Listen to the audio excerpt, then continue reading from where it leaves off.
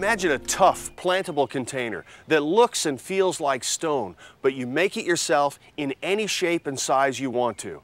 All you need is some molds. I'm gonna make a bird bath out of a trash can.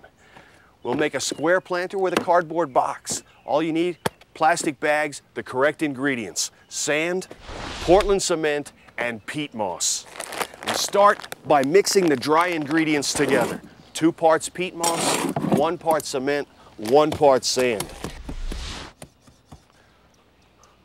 Once you've got the dry ingredients thoroughly mixed, it's time to add water.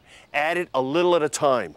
Our goal here is to make a thick, lumpy paste. When you've got it almost ready, you've got to prepare your molds. Now, to make sure that you don't make a too big a mess on anything, invest in some plastic trash bags. You're going to cover all of your molds and your work surfaces with plastic bags. We want to cover the box to form our mold, and this one will actually have a drain hole in it, and I'll show you how to do that in a moment. We're also going to make an in-ground bird bath by using our trash can cover. But now it's time to get into the bread kneading aspect of making tufa. We've got to make sure it's a thick, lumpy paste that we're working with. And I've gotten some disposable gloves. This is to protect your hands from the cement, from the Portland cement in the mixture.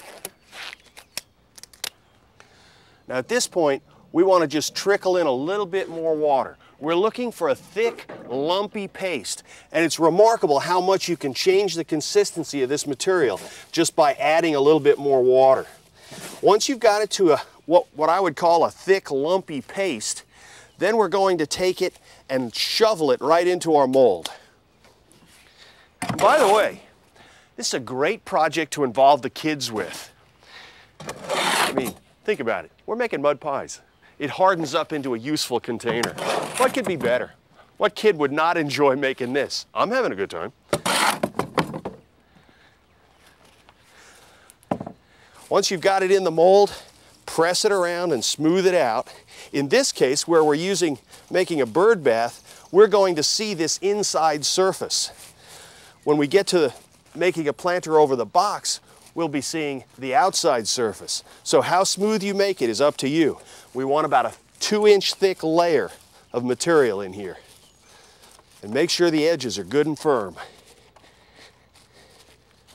To make it really smooth, just moisten your gloved hand and smooth out the inside of the mold. Again, we're looking for a uniform thickness of about two inches. And don't be in a hurry, you've got plenty of time before this begins to set. Once you've got a nice two inch layer of tufa around your forms, it's time to put a drain hole in the bottom of your pot. Now, of course, you're not going to put a drain hole in your bird bath, but in the pot, it's a simple matter right now to poke a hole with a dowel rod and just leave it in place. Press it all the way down to the mold. Leave it there. You can decorate your tufa containers in any way you want. You can use gravel, rocks, you could use uh, seashells, sand dollars, even marbles. Remember, this is a great project to involve the kids. It's a simple thing. We're going to mix 50% peat moss, 25% sand or vermiculite, and 25% Portland cement. The next thing we need to do is let the mold sit in a shady, cool place for four or five days so that it cures. After a few days of curing in a shaded spot, our tufa in-ground bird bath is ready to go. And it looks like ancient stone. The planter box looks pretty neat too. We pull the plug out for the drain hole uh, and flip it over. If this were made of concrete, I couldn't lift this this easily. This is really lightweight stuff. And it turns out a product that looks a lot like old stone. Finishing it up with a wire brush can make it look even better.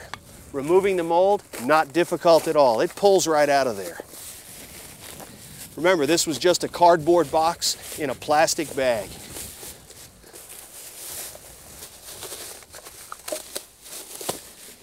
We've got a planter with a drain hole ready to go. This is great in the great outdoors.